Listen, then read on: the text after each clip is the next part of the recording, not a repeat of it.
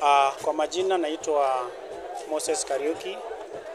Mimi ni mkulima wa Muguka katika Embu County na bado mimi ni chairman wa hii soko ya Embu Muguka Market.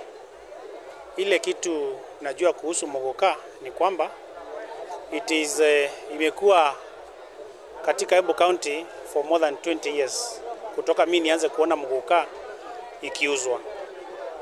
Kwetu.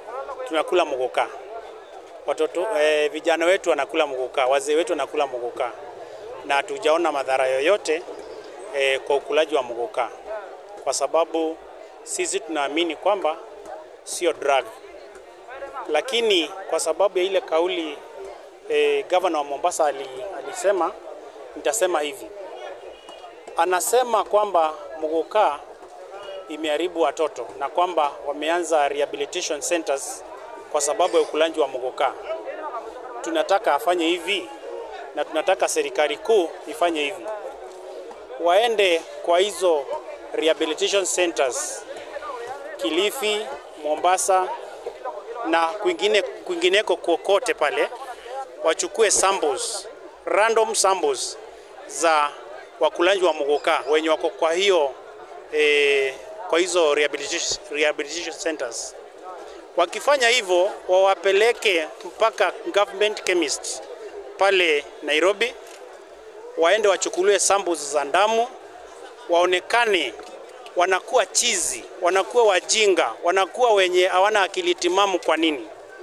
Tunataka wakienda pale waangaliwe hiyo damu ni kemiko gani ambayo wametumia ili kwamba wamekuwa machizi. Alafu Muguka yetu ichukuliwe tena ipelekwe bado government chemist iende iangaliwe ni kemiko gani, chemical composition gani ambayo iko katika e, Muguka.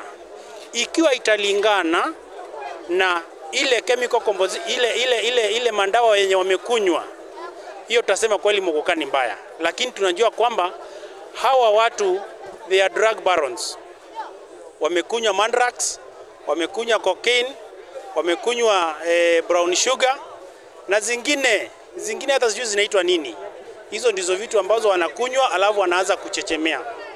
Tunasema kwamba ni vibaya kupoliticize the living ya Waembu, ya Wameru na ya Wakikuyu, na tunakashifu hiyo kitu in the strongest ones possible. Asante.